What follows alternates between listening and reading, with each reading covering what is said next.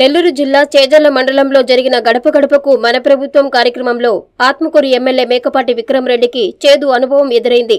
మండలంలోని పడమటి కండ్రిగా తదితర గ్రామాల్లో పర్యటించిన ఎమ్మెల్యేని మహిళలు నిలదీశారు.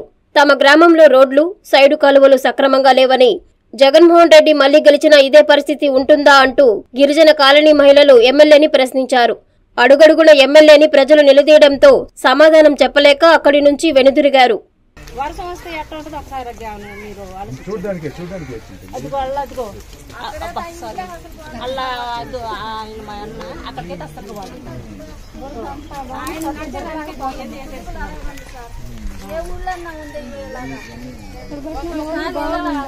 చేసేస్తున్నారు. అంత నీట్గా ఈ ఈ పరిస్థితిలో ఉంటుంది కనీసం అంగడికి పోవాలన్నా కానీ రాత్రి అయితే ఆరు గంటలకు ఇక్కడ ఒకరింటికి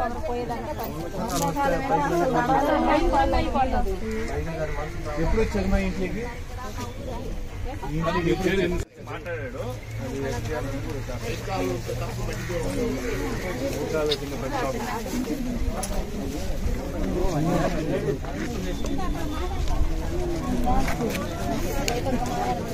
ఎప్పుడు లేనప్పుడు ఎండాకాలం. వర్షాలు వచ్చినాయి అనుకో అసలు నీళ్ళు కూడా రాలేదు సార్. ఇది ఇంకా రాళ్ళు వేసుకొని పుళ్ళు వేసుకొని నడవాలి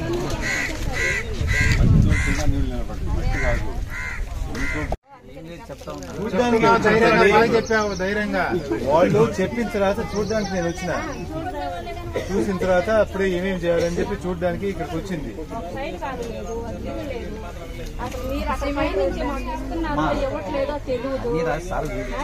ఇస్తున్నాడో ఇవ్వలేదు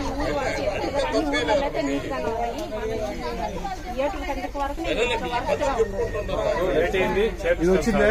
ఇవన్నీ వచ్చినాయా? మీ వాలంటీర్ బాగానే మార్చబడలేదు కదా?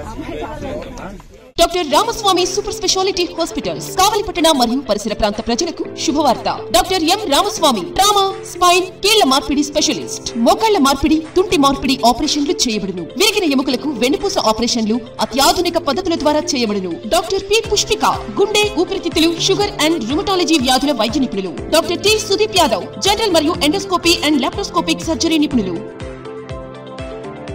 హెర్నియా పేగు జారుట ఇరవై నాలుగు గంటల పేగు హైడ్రోసెల్ ఆపరేషన్లు చేయబడును. వెంటిలేటర్తో కూడిన అధునాతన intensive care unit ICU. Doctor YSR Aarogyasri పథకం ద్వారా అర్హులైన వారికి ఉచితంగా ఆపరేషన్లు చేయబడును. Doctor Ramaswamy super speciality hospitals Vishnulayam వీధి కావలి.